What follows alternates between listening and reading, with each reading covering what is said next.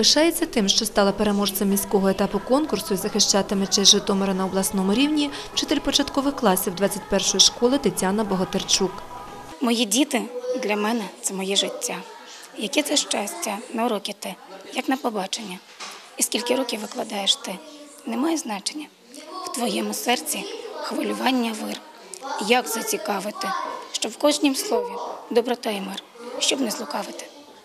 Більше 30 років педагогічного стажу має вчитель світової літератури Крилівської школи Андрушівського району Лариса Шинкарук. Проте у конкурсі фахової майстерності бере участь вперше.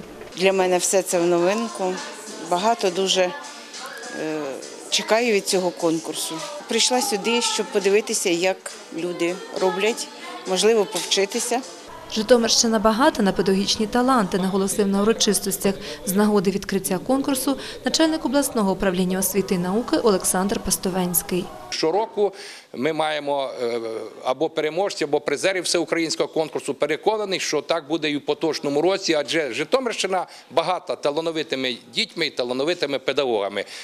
Освітяни Житомирщини намагаються йти в ногу з часом, а допомагає їм у цьому обласний інститут післядипломної педагогічної освіти, в якому лише цього року затверджено 89 навчальних програм для удосконалення майстерності вчителів.